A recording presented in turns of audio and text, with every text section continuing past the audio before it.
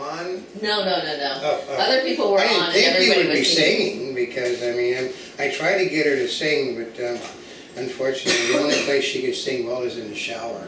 The other harmonics. But I've been doing it. I mean I, I, I have a tendency not to do karaoke too. I- I, I sound a lot better when the music's really loud. Oh yeah. no, I, I, she sings to Monty, and everybody. Monty basically loves her voice. But I mean, I, I have no problem with it.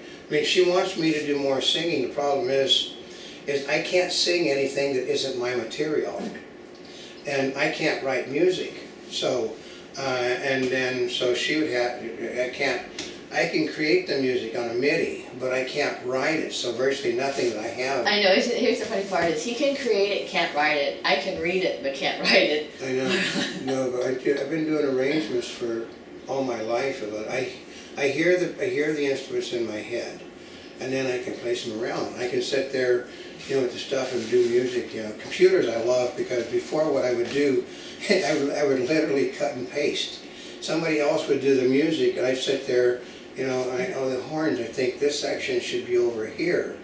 And then I'd have a record, you know, recordings I loved. I mean, I was in the beginning of, of Mylar recordings. So I could sit there and I could, okay, I cut this, I cut this instrument, and then I put it over here, and then I cut, then I'd sit there and Oh cut the God. tape. That's how I would do it. I would cut and paste the things to make the arrangement come out. Because, um, but, you know, I, I can, right now I'm in, you know, I clear my throat, I'm in fairly good When Irish eyes are smiling, they're smiling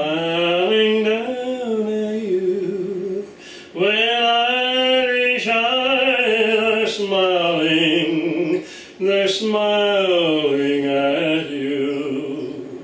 I can, I'm, I'm fairly decent voice, but I can get away with that because that song is not copyrighted. I can, we, we may start doing some pieces of stuff though.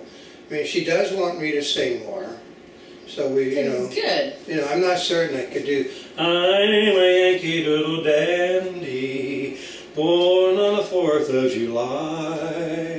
You know, I wish basically that it is copyrighted, which means you can't go any further than that. But uh, that, which is funny, it is not. The song itself dates back to the Revolutionary War, but the arrangement that you use is George M. Cohan, and the arrangement can get you in trouble. hmm They can copyright the arrangement. So, but, uh, I remember, I will do every time, so like, I know when I'm in good voice, when I tend to be, you know, more nasal, when I tend to be more tenor than I am baritone, then my voice is all right, but, you know, so, but- I could actually, it does have an effect on me too, like I said, um, if I'm not, when I was doing background music, if I'd show up, I could fake doing something else, you know, because I, I would come in like the same thing I always did with dancing. It was always because I was never there when I was doing the original sequence. I'd come in like a beat behind, a step, a half step behind. I would come in, you know, if you watch some of the things, you know, like um, uh, when Sir Sanapete sings, where I'm basically fill in, they're going, True love. you know, I'm, I'm, I'm right behind that first syllable. And then, you know, I'm going in with the rest of the things. But, and I'm basically trying to tone myself down. And the same thing with, uh, my father was a member of the California, Los Angeles Light Civic Opera. And I ended up doing a lot of stuff because he did, I did a lot of Sigmund Romberg stuff. So um, I earned, I, basically, I went up and down the scale because I fell in for somebody also. But, uh, but it would depend upon, you know, um, you know, they, they, uh, here's a good one. I mean, you will not believe it. They, you know how, how, how your, um, how your health is a big issue. I would, I, um, I would, I'd show up for something. Uh, somebody would be a baritone, and I'd show up. I would be a tenor, and in order, they'd screw my voice up so I could be baritone. They bring out an ice, a towel full of ice, and stick it around my throat, Why? uh, so that I would basically, it would cause my throat to get cold, Oh. and then I would. you Agricultown,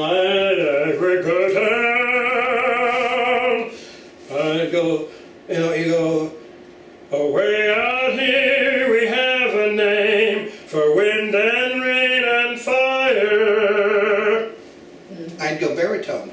They freeze, they basically, uh, make me sick. Uh, you know, uh, so that I would go from nasal metallic, which is tenor, to baritone. And they can actually, if they want, uh, they can manipulate you. Uh, you know, if they want you to be sick, they can basically put you in a room that's ungodly hot and overdress you in clothes. And you get sick when you're done, though. That's the problem. Mm. So, but I guess we'll have more about this. You know, it's, it's just my family. We're like hundred. We're doing a hundred and eleven years in the business as of this year. So, Wow. so, and until next time, Mrs. Ocam, And this is not a spring chicken. We're here yesterday, today, and tomorrow. And for more information, you can go to www.montebubbles.net on the net and subscribe to our RSS feed. and wherever you're watching us, subscribe to us too. Follow our daily newscast in 3D. And thank you once again for over 40 million links on the internet.